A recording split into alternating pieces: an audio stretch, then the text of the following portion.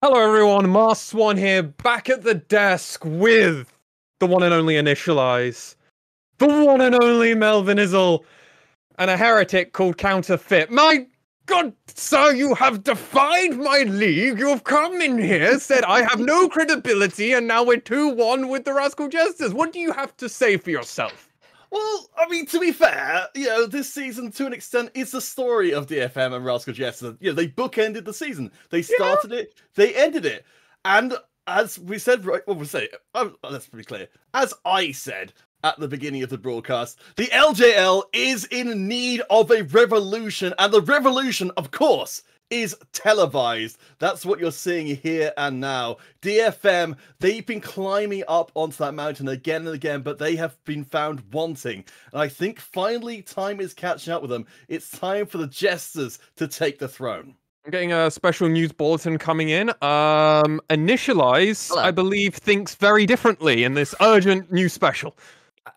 I do, but I'll also say um, the joys of having a juggernaut match is that either one of these teams will still be here one way or the other, still have a second chance here, which is good news for either one because both of these teams have been going at it hammer and tongs. Um, it's been pretty close for. We've had two one-sided games and one very close one. Either mm. way, it puts Rascal Jester in a very good position right now, and I think a lot of it as well has been uh, Sol and Secret really stepping up, and Hachamecha finally, I think, really kind of getting a bit of a better end on that Lee Sin being a, a, real nuisance for once in a way that sometimes he's been just a touch quiet in the early to mid games, not so much in the mid game this time around. Revolution is upon us. Tempo, mental fortitude, all oh, yeah. of these things are currently going in the favor of Rascal Jester. But DFM have been pushed up against before, and we've definitely seen them overcome once before. Melvin is on coming to you to be my uh, the voice of reason. Is there a voice of reason still, or are you are you just trying to still figure out what's going on throughout the series? I think that we will get a game five, but who wins it kind of depends on the draft because I would say that's been the big, big swayer of all of these games so far.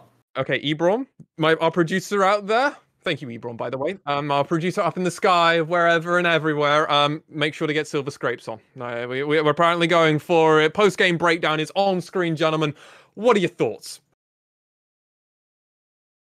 That's a gold loss right there.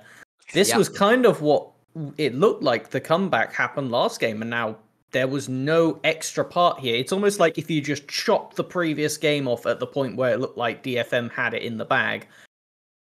And unlike last game where it got turned around and Rascal Jester were able to come back and win, DFM just weren't able to. They didn't have the champions to do it at the end of the day. These similar to the previous one, are very situational in how they need to win. Akali needs a pop off fight where she's not exhausted.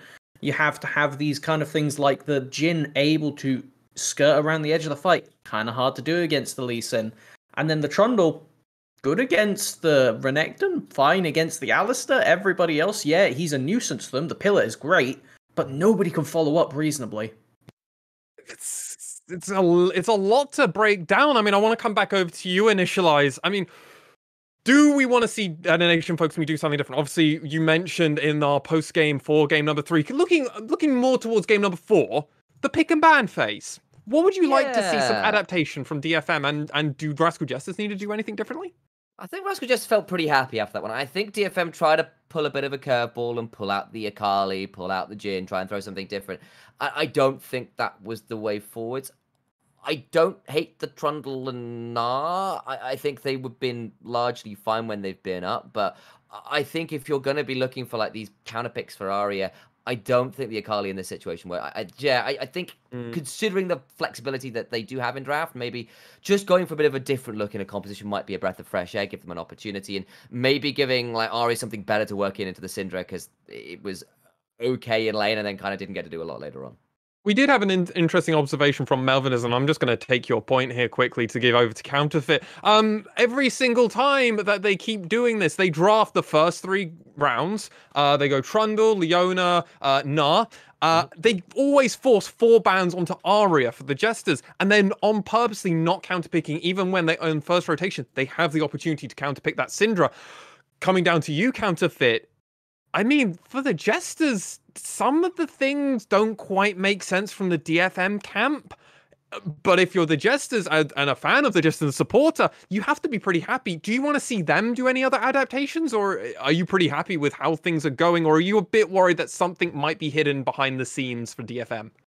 I think honestly, we're getting a lot to like here. I mean, you know, coming into this one, Kinatu getting the opportunity to kind of show that they are a major force to be reckoned with. I mean, Sol, well, you know, once they were getting those solo kills down the bottom lane, it was just Mm. honestly, it was just a wonderful experience. I've never been so happy. It was just great. And also, you know, Hachamecha was the big question mark, exclamation mark coming in. That they weren't really performing, they weren't keeping up with the rest of the team. In that last game on the Lee Sin, that normally Steal is the one to shine on, they were more than adequate. So I figured that in the last game, not changing the strategy would lead to being countered, but it didn't. So while I think, like everyone else, it seems likely we go to a game number five because there's got to be an answer from DetonatioN FocusMe at some point. I I'm still just about believing Rascal Jester could run the same strategy and still get another win. Well, we will find out, ladies and gentlemen. But before we do, I want to hand it over to our lovely casters who can truly run us through not only their expectations of maybe a game five, but this pick and ban phase. Gentlemen, what's going to be happening? Do you want to see anything new? Uh, well, Masked Swan, I don't have any expectations of a game five. I was the only one who predicted that Rascal Jesters will be able to do it once again and take that game three. And I think with that mental advantage, and honestly, the draft advantages that they've had throughout this series, that they're going to be able to take this. I'm more worried that he said, "Here are our lovely casters," and I was wondering if he was going to throw to someone else. Oh god, the puns we've been pulling is, uh, yeah, maybe worthy of concern. And uh, as you're saying, I think for me, the the drafts have been for most of this season. DFM have gotten away with slight draft errors into Yeah. slight draft arrogance. This has, however, come to the point where they just slip up and they just lose. They just lose at that point. We're going to those picks and bans again, so we're going to luckily go through them again. DFM not content to give the Kalista over once again, but Rascal Jester more than happy to take away Aria's solo carries. Yeah, they've done the exact same thing every single pick ban phase, but that is a little bit different. DFM leaving up Souls Ezreal in exchange for recap Syndra. Got some big scatter the weeks in that last game, and it is going to be the Trundle picked up, but the immediate response from the Renekton uh, with Rascal Jesters. Okay, so the Renekton locked in early. I mean, at this time point, do DFM wants to? Well, basically, there's there is going to be a trade of Ezreal and Varus, most likely, because they're both fine into each other. I think that Rascal Jester would prefer themselves to have the um, the Ezreal, but Diana into the Trundle. Um, so you are, you are not going to have a champion which is going to have be shredded of all their resistances. If Yep. Trundle locks you in the fight, you can just Zhonya's. That's a very powerful counter to the Trundle style of play because you go in, you engage, and then suddenly you're you're invulnerable. You don't care about being low resist. DFM choosing to take the Varus over the Ezreal. Are they going to lock in a Leona as well? No, it's going to be the Sylas, and I love this because that means Rascal Jesters are not going to have a free Alistar pick. Said this in last pick and ban.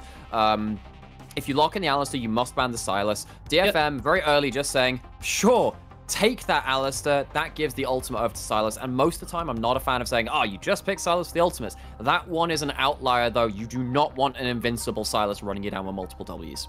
And he's pretty good into a lot of recaps cool, which is mostly control mages, but this is mm-hmm. something a little bit different. We saw the Ryze piloted by Aria to great success in game one, and recap is going to be taking it away for himself here. They are, but I, I, I look at the Sylas now and goes, okay, so Merc Treads angle, like Yeah, oh, you yeah. get you you get the MR yourself, and you have that Trundle Sylas versus the Diana Ryze. I favor the Trundle um, Sylas in that TV2. I think that Sylas can make an absolute mess of both of these side lane matchups if you get an advantage early. I think this is a very salient uh, Sylas pick from DFM. You can understand why Rascal Jesters have banned away that pick for most of it. I think there are multiple Renekton counters which you can pull out. I don't know what Evi is going to go towards, not the Gnar, so it will be a second champion in uh, four games uh, for that for that player. And now we have to see, okay, Bot lane for Rascal Jesters, not going to get the safety of the Ezreal. Yeah. What else are they going to choose to ban? Do they want to ban away something like the Aphelios 2? Doesn't do so well in something like the Varus, but it is a pick which Sol goes towards quite a lot. Actually, Thresh might not be a ban here, bad ban here too. But it is it, it- it's incredibly strange to me for Rascal Jesters where it has been the bot lane for these past two uh, matches that has been the the, the cause of, of, of a lot of their successes. And they opt not to take the ADC um, in that first rotation, meaning the couple of bans come out. Gonna be the Leona locked in for secret, so Gang's gonna have to play something different. And unless you've got something a little bit spicy planned as your ADC pick, I think you've just been throwing away stronger champions. Now, hear me out here. You could actually... Okay, the Alistar's actually a very good pick yourself. I think that that's a good idea because, again, Rascal Justice her on this... Well, in this game, because, of course, last game this applied to DFM engaging into the Alistar. This applies for Rascal Jester in this one. You have a low-range composition right now. Doesn't matter what Yep. you lock in as the AD carry, particularly because the Ezreal and Varus are gone. You're likely to have a low-range AD carry. Doing that on top of an Alistar really sucks. Yeah. This would be special to see being hovered. Evi, for those of you that don't know, was a top playing Tahm Kench player back in Season 7. He had games where he got triple kills on this champion. It's going to be locked in again. We have a couple of, dare I say it, signature picks coming out from DFM. Arias LeBlanc is one of his, Sylas is the other. Evi's Tahm Kench alongside his Nut, and course Gang picking up the uh, the Alistar as well, gives a lot of his historical power to DFM. Yeah, and you can really get down and dirty, brawl pretty heavily with the champions that you've got. Uh, Vayne would be an interesting locking. Going towards the Jhin, so a bit more of that utility style, trying to kite away. I'm seeing Rascal Jesters, they're relying a little bit on scaling here. Scaling with a Jhin, though, which is always Yeah. a little bit awkward. We saw the Varus into the Jhin last time. It, it is a matchup which uh, Varus can can hold down the Jhin. He doesn't tend to, to to bully out the Varus on his own right, and Jhin, who's not playing from ahead, is less impactful as a, a damage threat. And we know that um, when we talk about Rascal Jesters early in the season uh, series, rather we said, okay, Sol, give him damage, give him agency. We'll see what happens after that point. It feels like DFM have given that over to Aria this time, and Aria on a pick he can freely engage and make his own plays on is a terror to behold. So now, actually, I look at this draft and I think DFM flipped the script, and I think it's worked out better for them this time. Yeah, they definitely got uh, a lot more agency, and I think it's something that they needed to do because it clearly wasn't working Absolutely. in the past two games. You can't just keep butting your head against the wall. And whilst they tried to change things up in in the game three with the Akali pick, the draft they've got now is a lot more coherent. Just a little point I noticed: we have actually swapped bot lane matchups. It was That's the, actually very uh, funny. I like it that. was, it was the yeah. Varus and the Alistar for solo Secret last game, the Jhin and Leona for Yutapon and Gang. So I don't know, man. If you want to see, if you want a test of bot lane skill, which one of these duos is actually the best? I feel like this is the perfect time to see it.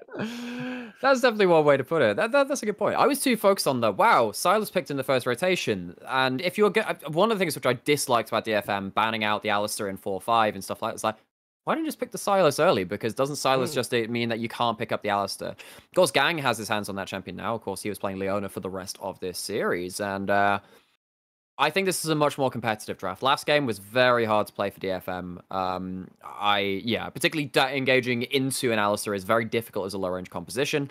I think that uh, the Diana and the Renekton and the Leona can certainly have issues with that this game, but Rascal Jesters have caught DFM napping more than once and caught their AD carry away from their team. They might have to do similar in this game because I feel like in a 5v5 situation, I think I favor DFM. Yeah, it's it's it's more about the picks, finding someone out of position. Yutapon, we talked about him being Mr. Consistent for a very long time. Mm. He has not had a good series. And I think if there's gonna be a player that's gonna be able to catch him out, it is secret. Obviously, one of the clips that we looked at right back at the start of the day was him turning around um, a play that DFM were making during that second round robin game, I believe it was Mm. um, and really turning it It on was. onto um, onto DFM. So the potential is there for Secret, but I have to agree with you. The Alistar, uh, the, the Tahm Kench as well, are just nullifying picks that neutralize what Rascal Jesters want to do. And also, I mean, uh, Tahm Kench is a way that you, of course, it is that nullifying pick. You can say frontline, backline, or whatever, but it's a significant anti-brawler pick too. You mean Yeah. you, you pick the Renekton into it and suddenly realize, wait, wait, hang on, this guy has really good extended trades. If he gets through to um, extra cooldowns, particularly the tongue lash hitting, because now he recovers some missing HP when he lands that skill. Renekton needs to be wary that he is taking short trades where then he can uh, chunk out and heal up after better than the Tahm Kench, rather than letting the Evi have a long run at it. And uh, that can be very, very dangerous after that point. Might see that on the Rift, though, in the next 10 to 20 minutes. Let's get it on. Yeah, potentially our final match of the day. Rascal Jesters 2 1 up. DFM looking to save face a little bit and push mm. this to a game five. I think we're both favoring the DFM draft right now, but as we've seen so far in this series, it's not necessarily about the draft, it's about the execution. And Aria might be looking to execute Hachamecha, taking a lot of damage on the Diana and forced out of his own jungle early on. So there is no follow-up there. It wasn't like a W start from the Tahm Kench to follow up, nor is it that long range. It's going to force a recall out from Hachamecha, but not in time for it to affect his clear at all. They do get deep vision in. That's the that's the bonus, yeah. right? You, you get a ward onto the buff, so Diana will now be seen on uh, on which buff they're starting. Because of course Diana doesn't necessarily want to start on uh, on a camp besides one of those buffs. DFM doing their due diligence and making sure that they haven't had vision traded back onto their side, but DFM seem to come into this level one with a bit more of a solid plan, and that is uh, a good sign because, again, looking back particularly towards that last game, and of course parts of the game before that too, the two which they lost, they didn't look comfortable. They didn't look comfortable at all. They looked out of sorts. DFM returned to the scene of the scene of the crime, though, as they see the hatch match is starting up here. They could go again for an early invade. Uh, it's a nice ward to spot them out, but this is going to be wasting so much time on the Diana that needs to farm up, that needs to get to that late game point. Rascal Jesters, though, doesn't look like they're giving this up. Secret has roamed up as well. Kinatu is in the mix. They're taking a fair bit of damage, forced to slice away. Whilst they will be able to pick up this red buff for Hachamecha, they have had to invest a lot to get it. They have. It does delay the uh, the start from the support, of course, but this leaves a 1v2 in the bot side for Sol, because, of course, Secret roamed up for that play. Hachamecha is delayed on his start steal more so. I would say brief advantage to Rascal Jester for this, depending on what happens with the wave state at the bottom. Mm.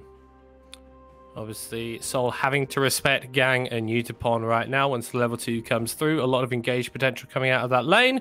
But with Secret making his way back down to the bot side of the map, Jhin's going to feel a little bit safer. Now, you talked about this Tahm Kench hmm. being mm. a, a, an anti-bruiser pick. Is this going to be a lane that's going to be a real struggle for Kinatu, is it looking a bit more into these team fights? Uh, so it depends on how the, the, the XP differential goes, Abby. If he does get that, that um, you know, deny a couple of minions, I think then it becomes quite difficult for the Renekton to play out in the long term.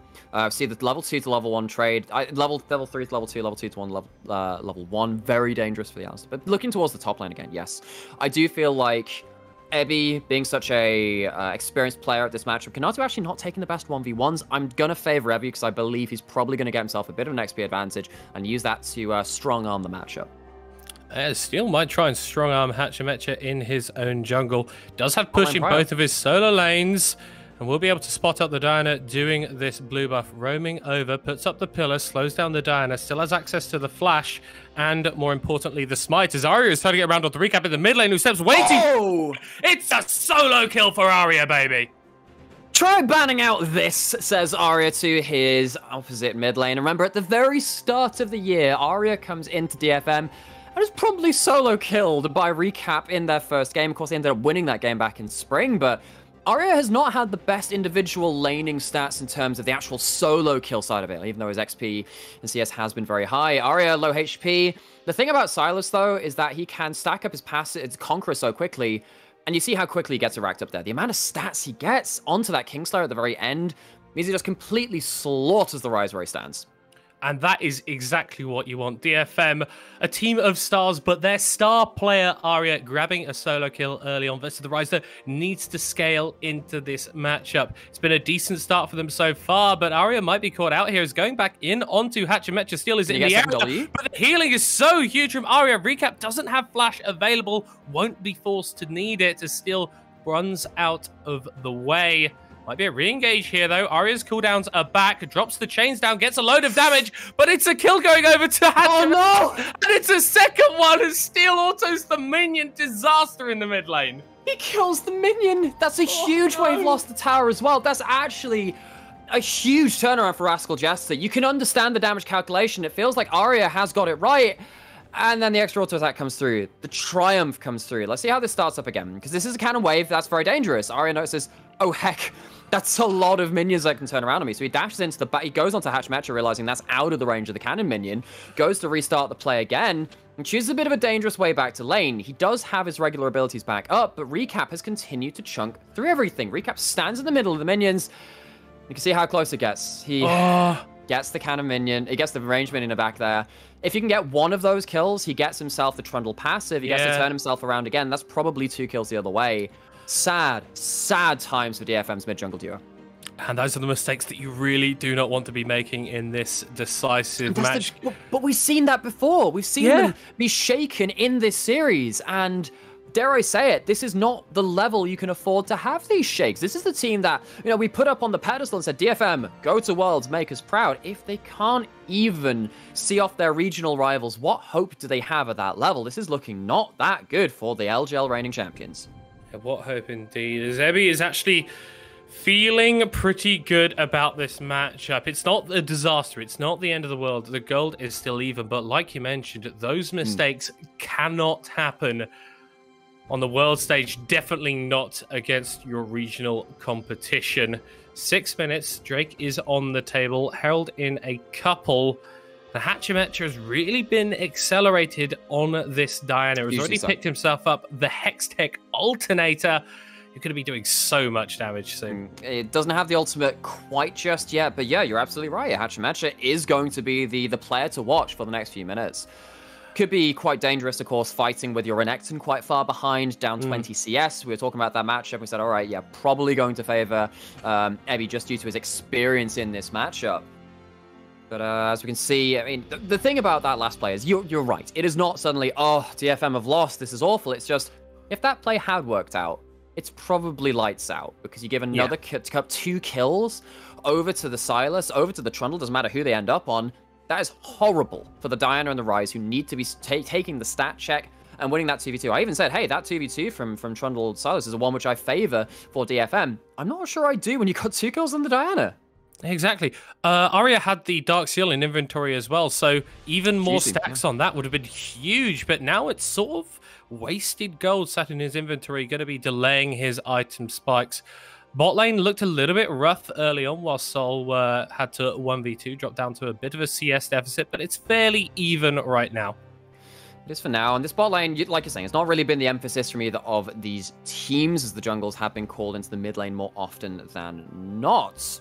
So, Dragon available, Herald being up again. None of these lanes really ang- angling towards it right now. Although Evi does have priority for the immediate Herald spawn. Steal doesn't choose to uh, start it on spawn, though. Instead, heading down towards the mid lane once again, potentially trying to shield Aria as he shoves in. Yeah, they will be anyway. will be starting up that Herald Evi with a shove as well. Hachamecha does have access to the Moonfall. No mythic completed quite yet. Uh, Will spot out this take, but no one from Rascal Jesters can Hmm. really contest this. DFM have had pretty good Herald control, but Rascal Jesters might be looking to change that as there goes the Abyssal Dive beautifully covered onto Hachamecha, who gets a massive Moonfall but will fall down. That is such a nasty combo. The pillar into the deep water dive, I believe it's now called for, all the abyssal dive coming out from uh, the Tahm Kench. Means that Hachamecha just gets CC'd once bopped into the other bop, into the chain, into the chains and everything. That strong Diana doesn't get to impact that fight at a crucial point in the game. Gonna go see it on the replay now.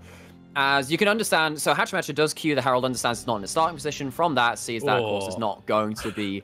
It has been started up from that point. But that CC chain is absolutely disgusting. Doesn't matter if there's a uh, three per. Oh, it's because the. I, I didn't understand where that last tick of damage came from. Aria steals the ult. That's where it comes on from. The stolen Ah. moonfall. Bit of a betrayal coming in from the Lunarias. Hachamecha, as we said, just doesn't get to use this early power spike to do anything.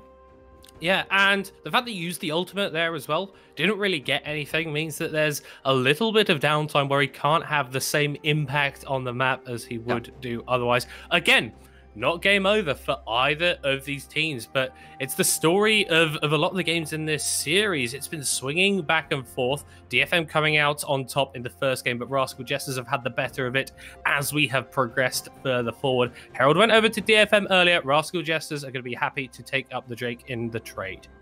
They are. So, we now have a Herald to watch on the map. The Rascal Jester trying to be spying out Steal across the map. I'd imagine he'd want to give that gold over to the Sylas. I think the Sylas, if they're ahead, yep. they get to a three item spike where you have Everfrost, Cosmic Drive, and Zhonya's.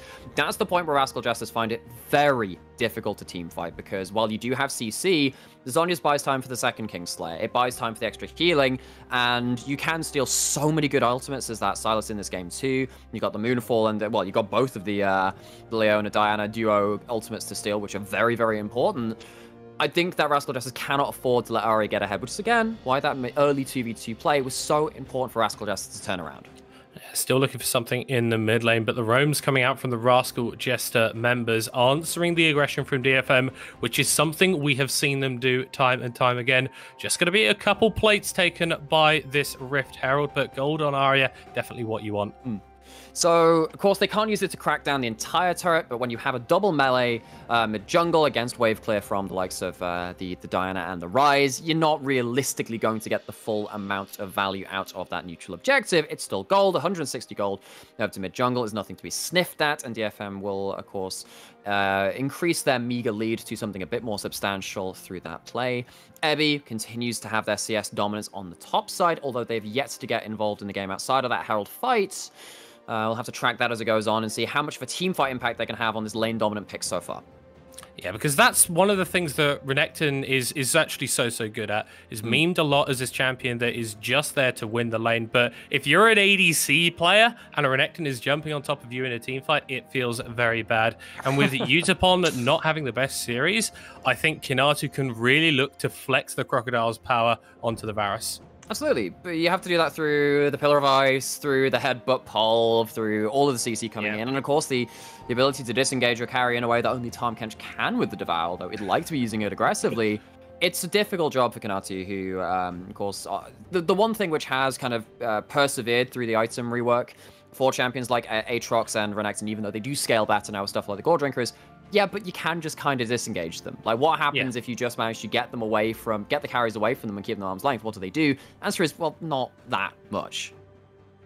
DFM once again converging in the mid lane. Obviously, no Herald to pop down here, but I like the attention that they're giving to this Sylas. They recognize that it is going to be a strong point for them mm-hmm. as we get later and later on into the game. And Steal trying to do his namesake, take away this red buff, but Rascal Jesters once again are able to respond with members, but they're not quite there in time to take away the buff.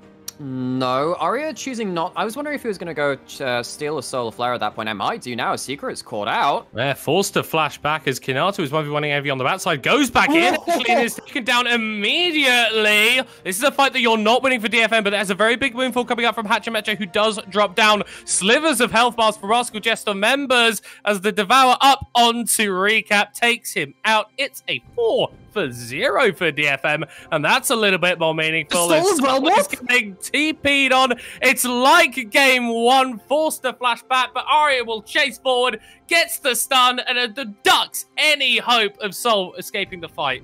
I understand why he didn't take that solar flare now. just finds the uh, the most unorthodox use for chasing down kills, still in the realm warp in a way which is very rarely useful for that Sylas. And much like the first two games, DFM find the the play after a couple of increments of pressure, stepping up, walking in, taking the red buff, making sure the Rascal Jesters have to respond, but then just skill checking them on the outset of that play, saying, all right, okay, so you're in the right area of the map. Now start to learn how to dance. They don't end up avoiding the important skill shots. And yes, Diana gets a good combo. But this uh, mid-jungle 2v2, once the skills start racking in, there just isn't enough damage to go through their regen. The Trundle passive, the the Kingslayer, everything else is too much for Rascal Jester to win the extended fights. And like I said, that uh, that Realm Warp just inspired for Aria. Yeah, it's getting flashbacks to game one, that play in the bot side where Soul has a very unfun time on the Ashe getting yes. jumped on is not having fun in that team fight. And DFM finally, after a couple games not looking too hot, build themselves a meaningful early advantage. Also, I mean, like, at the start of that last play, you can see how much work Steal did against Secret, who procs the Aftershock, and then, of course, gets uh, altered by by the Steal, mm. uh, by, by the Steal Ultimate, right? The Subjugation, where he just whacks off all of those resists, the aftershock falls off, and they just melt. They absolutely melt. They survive about two seconds after they're engaged and they go down. Um, and that's something which is really dangerous now for Rascal Jester, because Sol is not in a position to 1v9. So Jhin is not No. a high damage champion, especially not versus this team, which have ways to regen, have ways to keep them from doing optimal DPS and uh, continuing to auto attack. And Secret is not in a position to safely engage either, because, uh, okay, Okay. in. Immediately onto Evi. He flashes back himself, but Hill gets hit by the moonfall. That's going to be the escape coming out for Rascal Jesters, getting out with a kill and their lives. Close run stuff because that Everfrost, if it landed the route onto Ryze, would have, uh, of course, delayed that escape. But Evi flashes out, still caught by the CC from Hachamecha. Good pickoff from Rascal Jester, and an equally good escape. Of course, Evi still has teleport, and this second Herald uh, being started up from DFM might be able to return back to that mid lane and open up that tower, which would be very important to deny some of that uh, priority which Rascal Jesters have had due to their wave clear advantage from their mid jungle 2v2. Oh, this is a TP from Recap back into the bot lane. So Rascal Jesters recognizing that they cannot contest in the mid side. Oh, the Herald actually being okay. stopped by DFM as Rascal Jesters pulled them towards the Drake and DFM say, nah, uh, uh, this is ours. Yeah, because DFM are presented with, haha, you can go for the Herald, but we'll take the Dragon. Then DFM say, but what happens if we just go to the Dragon? What if we just go for kills? Oh my god, Hachamecha completely blown up for the third time this game. Is and uh, getting a bit hypey there because though it is one kill, that is a kill onto the jungler, while Dragon and Herald are both still alive. While Yeah. DFM are one two down, that kind of kill to keep the pressure on, keep the momentum rolling through is so damn important for DFM. That is such a pivotal kill because now DFM can just do whatever the hell they want for the next couple of minutes. Yeah, it's such a pivotal kill in like in terms of the series. The momentum, the mental was all meant to be with Rascal Jesters, but DFM they found it. They found that star quality. Why they're so good is they're able to win even when they shouldn't. They haven't closed out this game yet. Rascal Jesters can still take the 3-1, but with the advantages they've built for themselves, DFM are in a much better spot than they've looked for a very long time. Absolutely, and a lot of that does come from uh, the real show of class we've got from uh, DFM's mid laner and Aria, right? You know, I, I I talk so much about them. It has become a meme, and it's you? one which I'm more I am more than happy to go for because it is such an entertaining player to watch when they are on their choice champions. And no, they haven't really been given priority in the draft for most of the split, and for most of the split, it's worked out because their champions pool has been so large. Hasn't mattered that they haven't got their choice of their first two picks. Kinatu gets away from that turret and uh, keeps himself safe. But yeah, DFM turning towards their star mid laner to carry them when things get very, very bleak for them. It seems to be working out right now in game four. Looking very, very nice. 4 1 and 4 on the Sylas. Has got 10 seal stacks on that Dark Seal as well. Could potentially see a Mejai's this game. Would be very nice. Still able to solo up this Herald. Herald prioritization from DFM has been very, very high in this series. But Rascal Jesters are trading in the bot lane, trying to pick up this tower. Although Aria might have something to say about it. He's going to pop the Solar Moonfall. Hachamecha doesn't connect on his own one. And DFM save the tower in the bot side. Sadly, because Aria knows between all of his uh, different abilities, Everfrost and then a Stolen Moonfall, is like, yeah, I could probably wave clear that. Denies Rascal Jester for another wave. It buys Yutapon a chance to reset, which means that Recap cannot reset on this wave. Get back towards mid lane. Do DFM now have, an, uh, have a, a mismatch somewhere that they wouldn't have done without that play? We'll have to see, but it just, again, keeps Rascal Jesters on the back foot. It reduces their options. This is what people mean by tempo. Aria forces Rascal Jesters to take some extra time in something which should have been easy for them, reducing their options and forcing their hand for the next minute of play. Yeah, and I mean, still does have that Herald in pocket, mid lane tower. I think low enough that it would just get knocked down. Die so, to a single charge, yes. yeah, if DFM want to make a concerted play around this mid part of the map, they can definitely do that. Drake isn't spawning for a little while, so can't use it to gain pressure on that just yet. And I love this. It's a it's that's the Scryer's Bloom backwards to make sure Rascal Jester don't have a Kinatu flank ward, don't have a way to punish DFM as they are trying to up the tempo, try and force Rascal Jester to to their own beats. So DFM gonna summon that Herald mid lane, and again, all of this works up to make sure Rascal Jester's out of options to respond to it. Yeah, and look at Soul right now. One, oh, zero, one, and zero hasn't had an impact this game. Aria might be looking to reduce that even further as he does get the stolen Silverflare, lands with the trains. That is a disgusting amount of CC as there goes gang into the middle of gets the Moonfall, but it's not quite enough First kill of the fight going over to the Trundle, opening up with the curtain call. Here comes Soul, doing the damage on the backside. A couple of low health bars, but he just can't connect onto them with the bullets. Aria turning it around, pops into the Zhonya's as Alistar goes pop, and here come Rascal Jesters going forward. Evi Ooh. will not be long for this world as the Zenith Blaze connects, but he's turning it around. One more hit would do it as Soul picks up the kill.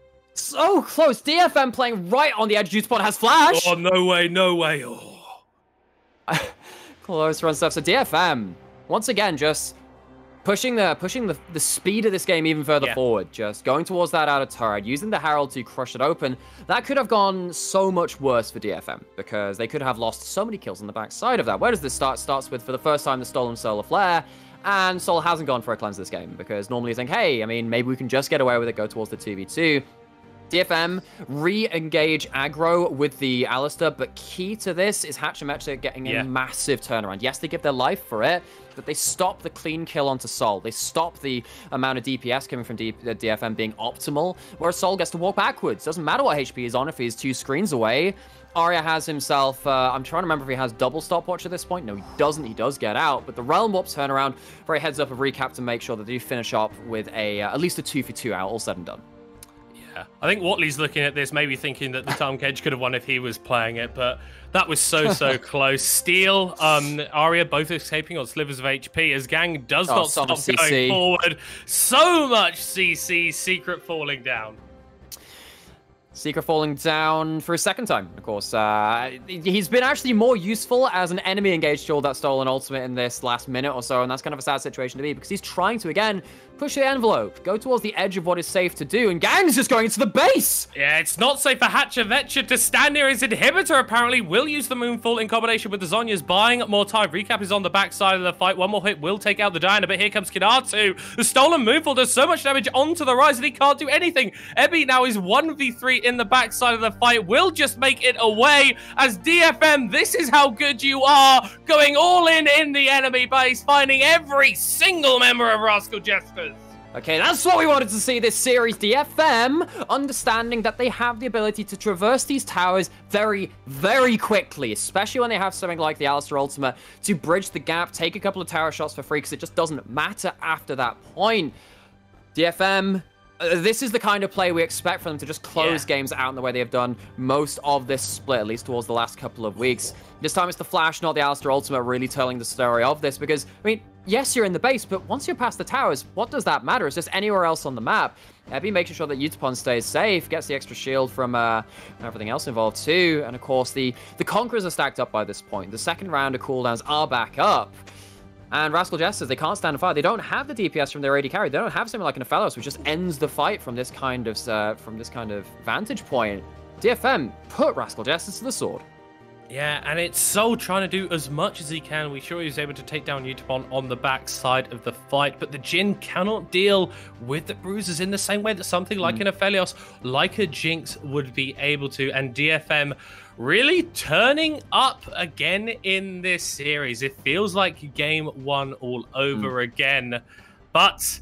They've lost from leading positions before this series. It was They an have. 8k gold comeback for Rascal Jesters in game two, but DFM are looking so much cleaner this time around. And dare I invoke something from uh, Aria's uh, Sylas history back when he was on CGA? Because back in spring 2020, uh, in our first split where we cover them, Aria had himself a 20 Mejai stack game on that champion versus the Rascal Jesters. Different lineup, different support. That was Vivid back then, who picked a Blitzcrank into him.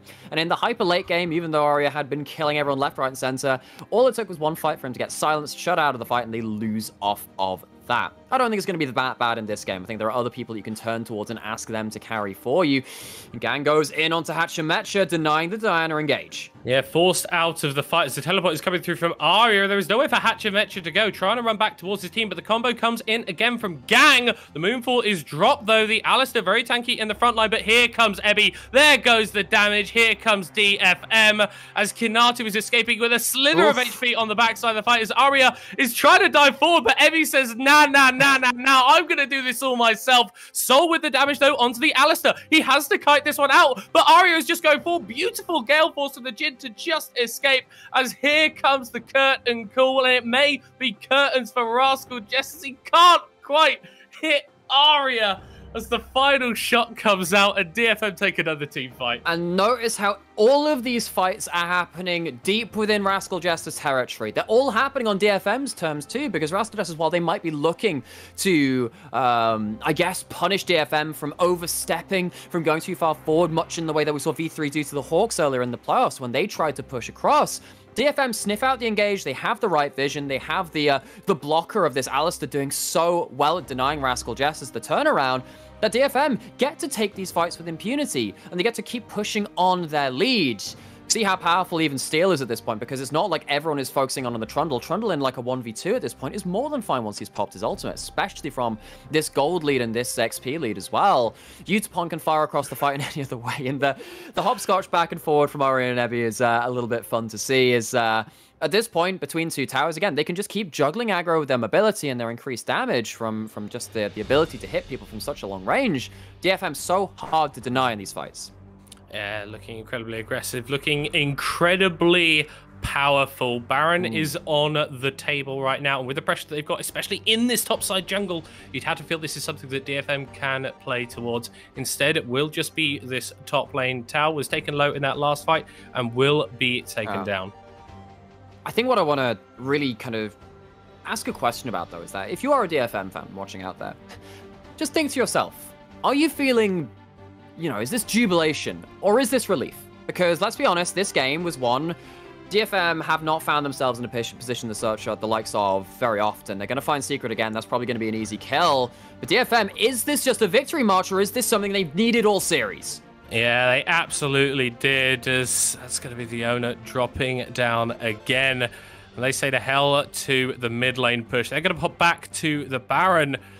I'd have to say it's a relief right now being match point down. This is the sort of game that DFM and DFM fans needed because, okay, the Juggernaut match, you could pop down to the lower bracket, but you do not want to be losing a best of five series to Rascal Jesters as Gang is going on to recap, who's trying to flash back and buy some time, but he can't buy a damn thing. Kinatu is going to be dropped as well. So Gale forcing away. The Tongue Lash comes out, the Abyssal Dive as well. The Jhin just can't cut fast enough as there comes the Moonfall to try and buy some time from Hachamecha. One more shot onto Soul would take him down as he's going to be falling as well. It is the victory march for DFM. They're going to be taking down this inhibitor and taking us all the way to game five. Alas, poor inhibitor. You, we knew you for about three seconds before you ended up getting destroyed again, DFM. Might get su sued for property damage after that one, but Rascal Jester got a whole hospital bill to settle before that. Is DFM bring us to game five. The Nexus is falling. Rascal Jester fans are balling. One game left. One game to decide it. Oh, it's going to be Silver Scrapes, baby. The race to the top is a harsh one, and it's been much closer than we have thought. Um, DFM having to stare down the barrel of a of two match points from Rascal Jesters, of course, bring themselves to a single one. There is no deuce in League of Legends, thankfully. I think they'll be going all day at this rate if they're this close. DFM, like we said, this is the relief game.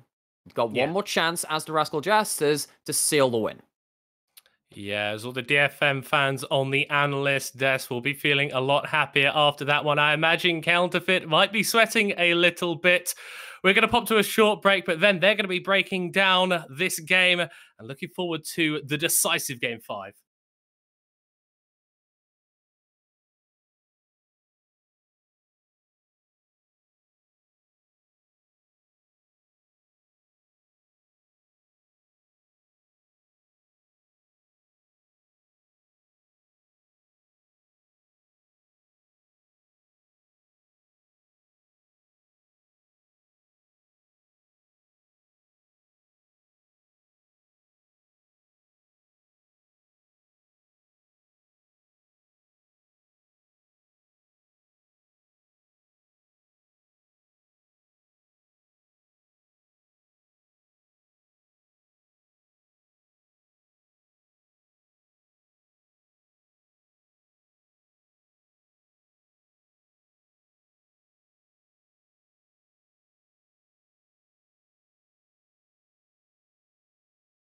Don't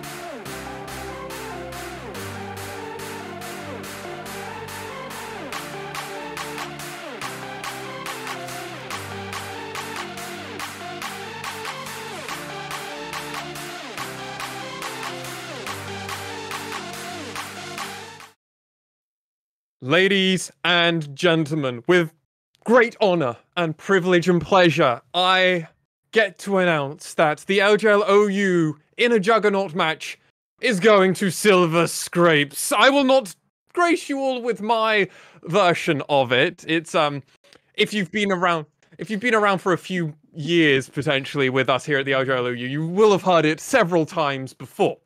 But I think where I want to go with this first is over to Initialize. Yeah. Because DFM actually got the win. And It did. hey, in pretty good fashion. It was. I, I've got, I've got a prop for you. Just, just a second. Oh, oh.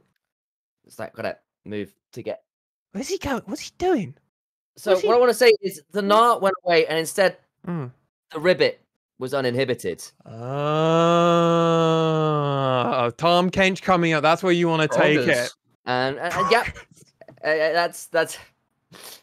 See, Melvin as well has printers. I have random musical instruments, and that, that's what I had to work with. And I think it was a good shift, honestly. Big CS leads to top, and then of course Ari as well shifts up his mid lane counter pick and does a really good showing on the side. Is very aggressive, very much feeling himself, and just you saw how much more comfortable DFM looked in this one. It was just a bit refreshed. Rascal just seemed to have a bit of a number on how to play against the champions they were. So bit of a quick switch in those solo lanes. The Trundle still looks good. Alice is on the gang. Oh, gang's on the Alistar. Let me invert that little phrase. And that kind of just those little brief shifts seem to give DFM a lot more of the aggression, a lot more of the playmaking they need in the early stage to snowball as they have been wont to do over the last few weeks. So credit to them for coming back and bringing it to that game five. Our very own initializers, a maestro of many instruments. Evi and Aria are maestros of many champions, and that's where we get to mirror it up. Counterfeit. Um, I'm sorry, buddy. Um, I know we all came into this expecting DFM to win 3-0. Even you were like, well, it might be a tough one, but I'll believe in them.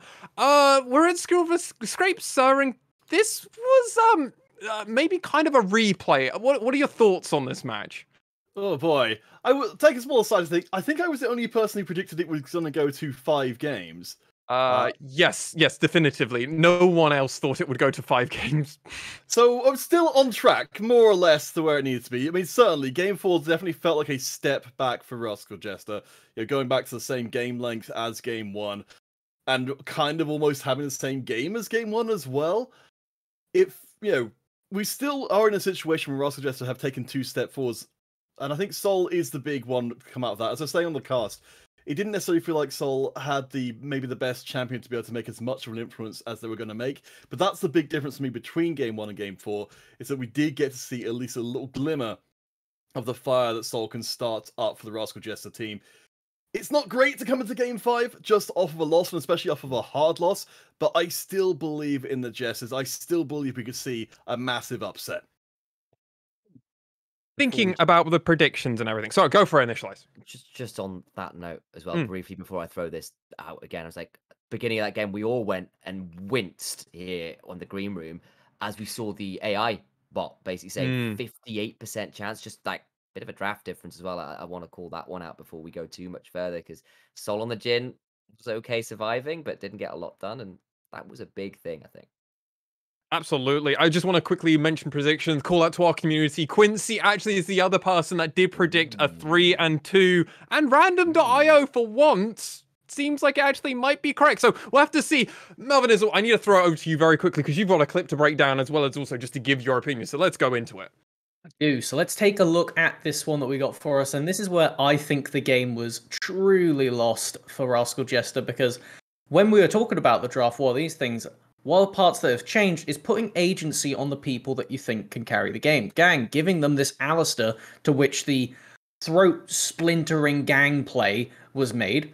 Giving Ariat Sylas, which has been getting banned away from them in second rotation every time to protect Recap Syndra, which they are finally off of now for DFM, this is already a better start. And Rascal Jester, they're looking at unfamiliarity for all intents and purposes with this Ryze pick that, as we could see in this play, didn't exactly get done what we had from Aria's Ryze in the first game. So looking at this fight right here, it's initially just Secret looking to scry some vision. So that's really the only part you need to be looking at at the moment. Just keep your eye on Secret and see how it goes because it starts off as a rather innocuous play, something that you don't really think is going to have any impact, where they're just walking around the corner, thrown into the pillar, instant knock up. Chase gets the flash down, and then you can see DFM have started to converge on the side. Sol and Yutapon are now making this little line across here where it's going to be the two ADCs having their battle. You got this clump of three in the middle from both squads, and Secret is already on the back foot. And then up here is the top laners going at it. And I will tell you, if you have a level lead on Tahm Kench, which Evi does right now, they will beat basically every champion in the game. So they are just going to be keeping them at arm's length and allowing this three stack that DFM have to really run wild on the opposition in the middle part. So let's keep an eye on that middle section for the moment. As Secret decides that it's time to go in, and now we have Sol on the edge has started the Jhin ultimate. The only issue is, you may have noticed on the minimap, Yutapon has been beelining for them. They're going to throw a chain of corruption and then just force them to back off here, which completely removes the ADC support from Rascal Jester. And what you may notice is if Renekton isn't getting ultimate into massive combo, if Diana isn't getting a massive moonfall, at this point in the game, 12 minutes, Jhin is your only real consistent damage. Ryze is not online yet. They could do decent things in these fights, but it is nowhere close to what Jhin could be doing with just some auto attacks and finishing off kills with the ult. So keep your eye on the middle stack a bit more. As you see, Gang goes in, everybody tries to commit. They get a big moonfall, but the thing is, the DFM squad is quite tanky. And at this point, they're able to just chase them down. Yutapon, in his little 1v1 over here, has effectively forced Sol away. And now, because of how well it has gone for DFM on the backline here, Sol isn't safe to just run this way because there's just the chance that Gang can flash the wall, they could go around the corner. There's so many different options where, at the end of the day, it's just very sad for Sol. So, we do have them trying to run the only safe angle they have, and that is this way. You may have noticed Aria is back on the Ryze suddenly. And it goes horribly for Sol. As the only survivor from this fight initially, everybody gets blown up in the middle there. No survivors for Rascal Jester, and they think that their ADC gets out. No, they're just chased down, and that is the end of the fight. It is a 5 4 0 at 12 minutes. This is when the snowball started for DFM, leaving them with a massive gold lead and they just took it from there and absolutely ran with it. It was honestly amazing. Melvin, thank you so much for doing these breakdowns. It's really insightful to actually get that information. It's fun. Kind of, it's there we go. You're having fun. We're loving it. We're learning, and we also sound like we know what we're doing more because you're you're kind of doing that. So thank yeah, you, thank you very much. But ladies and gentlemen, I'm and we're actually going to cut it short here at the desk. We're going to go on a break you've got a certain song to appreciate on that break. And when we come back, game five, silver scrapes will be upon us. We've got a lot to go through and we need more time. So we're going to go to a break and we'll be right back very soon. See you soon, everyone.